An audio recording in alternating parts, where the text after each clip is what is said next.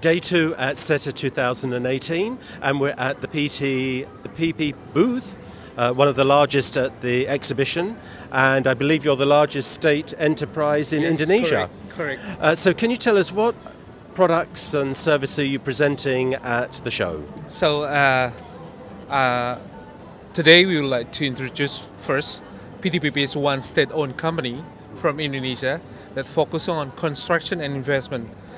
Here uh, we come up with the seven pillars: infrastructures, property, uh, uh, uh, construction, EPC, precast, and also for heavy equipment as well.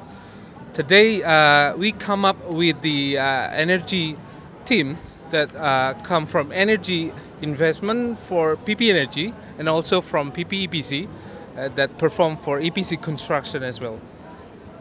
And from the EPC uh, side of the business, um, what are you? What's your offer for the show? Well, uh, we are offered for the EPC uh, construction with the competitive uh, side, and then uh, we do the fast uh, we do the fast track as our our experience in Indonesia. Uh, we built a mobile power plant for six, seven months, and then for gas engine power plant with the eight months. So that's uh, our uh, performance, good performance in Indonesia uh, by now.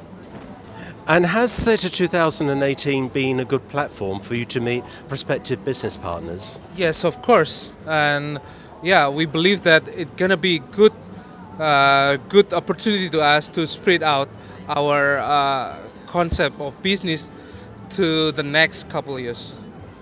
Great, thank you so much for meeting with us today and talking yes. with uh, SETA 2018. And I wish you a successful Yes. day at the show. Thank you you. so. Thanks.